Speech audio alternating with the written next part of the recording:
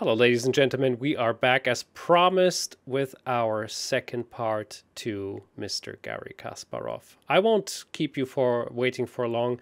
Frederick, let us keep on. The, we, we left the, the last uh, part by talking about the game Frogger and Hopper and how Garry used uh, or got the computers to educate uh, in the youth centers in Russia. What was one of the uh, next stories you have on your mind about Garry? Oh my goodness, there are so many. Know. You know, we could go on forever. But I mean, it's 40 years of friendship, and I accompanied accompanied him all over the place.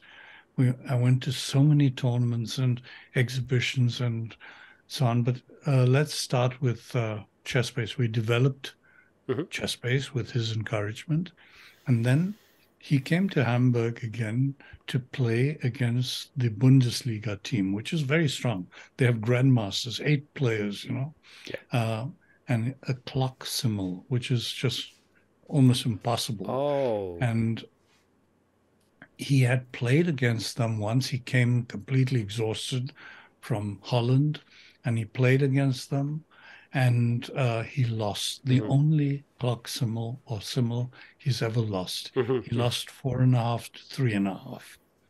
And uh, he vowed revenge.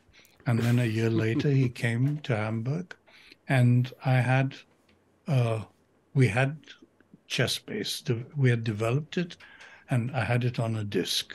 And we, I set the computer up in his hotel room, mm-hmm. and um, we then I called the uh, organizers and I said, okay, who are his opponents? And they dictated the names and who's playing black and who's playing white. And I said, here, Garry, here are the uh, opponents. And he said, wow, they're even stronger than the last time. and I said, okay, now we prepare. And he said, okay, I'll go for a stroll in the hotel lobby. And when you're ready, you just call me. I said, I'm ready already.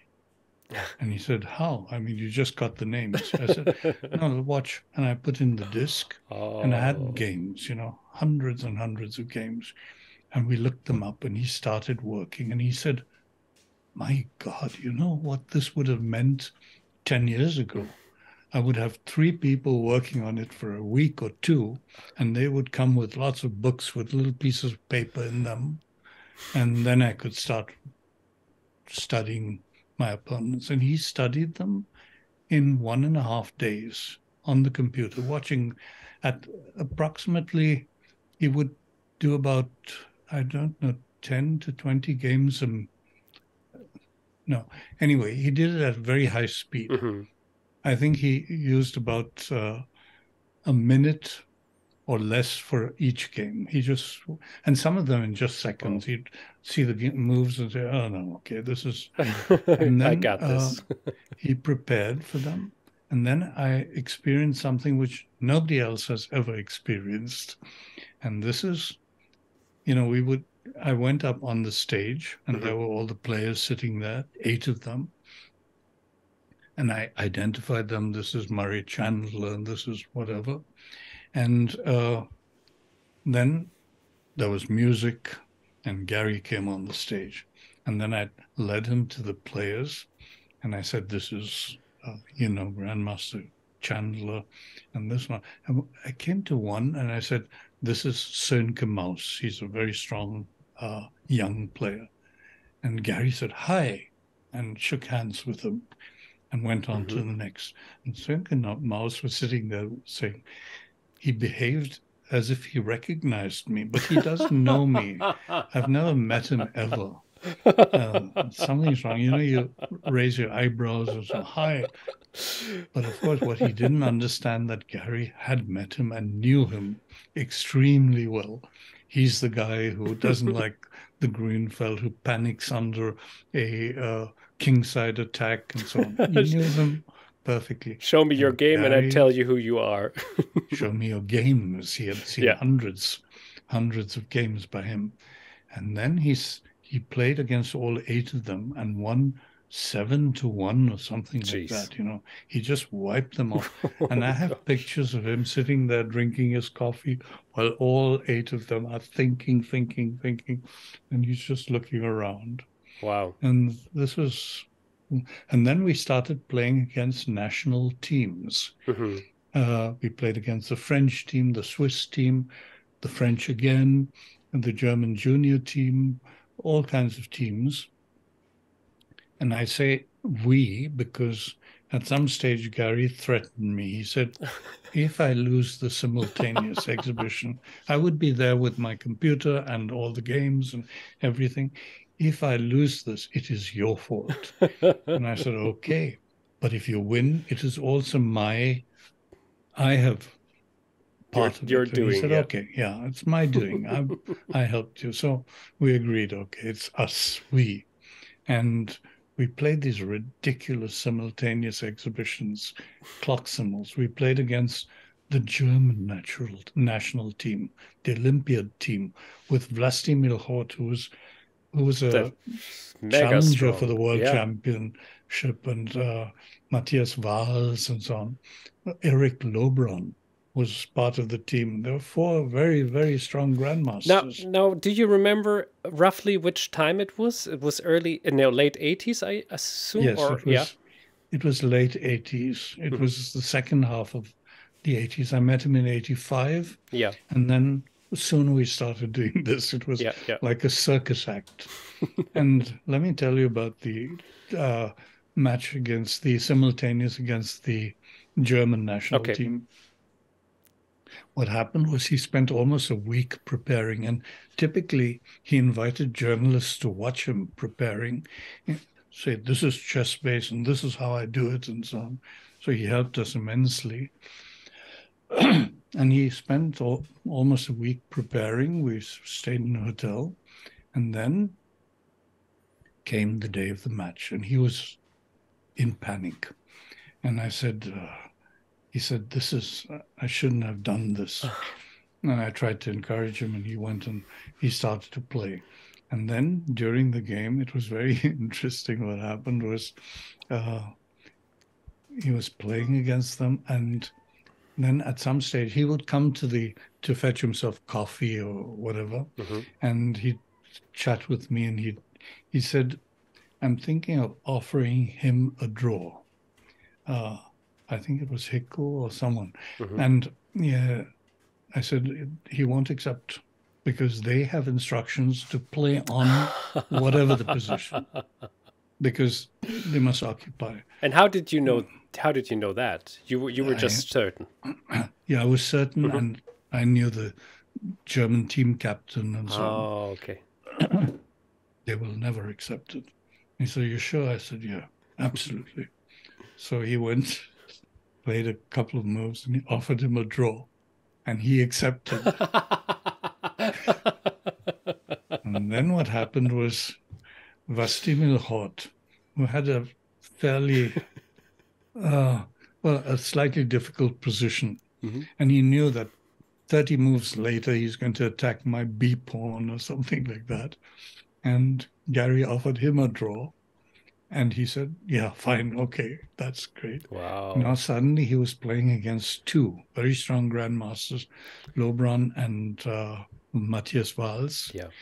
And he could contact, and they were sitting there saying, Didn't we agree that they should occupy his mind all the time? And he won one of the games, and so he won the Simul Uh-huh. exhibition. Which was truly Massive, remarkable. He massive. played against then against the Israeli teams, the Argentinian teams, and so on. And Yeah. it was just How did? So- Can I ask quickly? Um, how did you get uh, those events going? Was it because uh, Kasparov was already that famous and he was Yes. offering this to the teams, and they just said Yes. like, "Yeah, with pleasure, we're Yes. we're on it." well. And- what happened was it was very popular, and we had huge crowds, and Yeah. and they Ah, would yeah, yeah, yeah. stage it with music, and it was like Ramble or something. Nice. and uh, it was it was just very popular, so we kept doing this. Were there any, uh, besides the preparation and anything else, were there any rituals which uh, Garry and you had? Like you were always drinking a tea before, or you always had a meal, or you always took a walk, or something like that? Or was it just from situation to situation differently? Well, what we dis- one thing I discovered, not just for these simultaneous exhibitions, but also for his matches. I visited all his matches against against Karpov yeah. and then against Anand and so on and Kramnik. And we discovered that after three hours, he was slightly exhausted. Ah. And then I came up with the following me and his mother came up with the following solution. We feed him chocolate after three hours and Toblerone chocolate. So uh, after three hours of play, he would go to his, you know, canteen area, uh, get himself a coffee and find Toblerone there. and then he'd eat too the blood sugar, you know, get his blood sugar up. That is fantastic. I want to I want to see in the next tournaments people after 3 hours having their Toblerone next to the chess table right now. Well, I don't know if it worked directly, but it it, it seemed to work and he stuck to it, you know. He always Cute. Fred, do you have my Toblerone? Yeah, yeah, you get it. Don't worry. So it became a ritual. Mm-hmm. There's one other thing I, I, should mention, and this is not so uh, intensely described in my book, okay. is that, of course, I helped him and I accompanied him and I experienced things which very few people have experienced. But there was one aspect which was I treasured immensely. This is I've had a lot of fun with him. Mm-hmm. He has a great sense of humor, and uh, he's always interested in puzzles and jokes and so on. And so we just go on and on with this. I would present him with puzzles. Some of them are, by the way, in my book. There's a whole section. Yeah. And after I finished, I delivered it. I showed my chapter on Kasparov to him. And I said, please read it and tell me what I should take out because it's all very personal. And he read it and he said, "Well, you know, there was a mistake. It was not in 1985. It was in uh, in January 1980." So he corrects a few dates. Yeah, and but I said, that was it. Yeah, but what about the rest? he said, "No, no, no, that's okay." And I said, "But I make fun of you. I tease you in it." And so he said, "That's okay. You know, if you want to read about my career in chess, go to Wikipedia. You are describing." you know how we interacted and how so he's mm-hmm. he's very tolerant of that but you know we did all i did all, all kinds of pranks on him let me tell you one yes, but there please. are about 10 i could tell you or 20 but one prank was we were on a train and uh, from switzerland to germany. And it was long and hot and uh, he was he suffers from one problem in life boredom. He doesn't like not to be doing something constructive. So so what are we going to do now? I said let me show you a card game and he said okay card game he likes card games we, we know already like from the karpov episode karpov, if you have exactly. uh, not listened to it yet or heard it or, or watched it yet so i took a deck of cards and i made three six six or eight uh, little piles of mm-hmm. cards face down. And I said, now, each of us turns over one card, and uh, the higher number wins. if it is red and black, like a 10 of hearts or, or spades, then red is better than black. Mm-hmm. And diamonds is, uh, no, hearts is better than diamonds, and spades are better than clubs. And he was taking notes and saying, okay, spades are better than clubs, no diamonds, and so on. So we check who can get the highest number of tricks. And he said, yeah, but what about the rules? I said, I told you the rules. Mm-hmm. And he said, come on, this is just chance. I said, no, I've been practicing it for years. I'm very, very good at it. He said, come on, Fred, there's, how can, so I said, let's play. Okay. He, he turned over a card. It was a five. I turned over one, it was a 7 mm-hmm. So it was mine. And the person who loses can can start the next one. So he turned another one. It was a 10. I turned over one. It was a jack. And so I kept winning. And in the end, it, it was like 23 to 3 or something like that. Mm-hmm. And uh, he was completely baffled. And he said, okay, wait, this is. This is not okay. What wizardry And he took is the this? cards and he he mixed them, shuffled, and cut them, and so on. And he made the six piles, and then we played again. And again, I was winning almost every uh, try. And he discussed it with his seconds and his helpers were with us in Russian. But I understood just one word. Uh, they said something about statistica. hmm And he said, "What the, what the hell? Could st- statistics can't play a role in this. How how can he be winning this? There's no way he can do it." Now this was just he's just a very innocent young boy Mhm. from Baku, Azerbaijan, and he didn't know how evil the world is. these these were marked cards. Yeah. Yeah. And I was just reading the backs. They're very subtly marked cards. And so I had to tell him and he, he was very upset. He was and, probably uh, furious. Yeah. and there were many jokes like this where he would sometimes not talk to me for an hour, you know, just upset about this, how I tricked him and cheated him. But he also did it to me. You know, he'd prepare some kind of a, uh puzzle or a joke on Fred, Mhm. and then he'd pull it out. So Nice. it was, in general, just a lot of fun with them. Yeah. I was never ever bored. It was just, Yeah. not just the chess, but also the human interaction. Yes, yeah, I can I can imagine. I mean, you've written even more uh, about it in your book. I know even more stories you have told us uh, when we were having a meal together, or even uh, on an occasion when you were visiting. And um, yeah, it's always it's it's so so nice to listen to those interactions you two have. One and- last one. yeah, give it to us, please. Yes. Okay. Uh, I was in 1996, I think. I was in Philadelphia. He was playing against Deep Blue, the first match, Oh, yeah. which he won, by the way.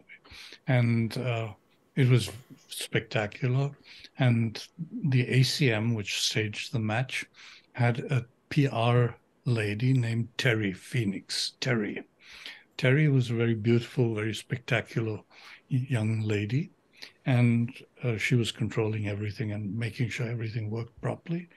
And um, one day, and there was a long swimming pool in the hotel we were staying. It was just very long, and Garry would swim laps on in the swimming pool. So one day I said to him, "I want to challenge you to swim." And he said, "You, you you've seen me swim. I'm very, very good." And I said, I still want to challenge you.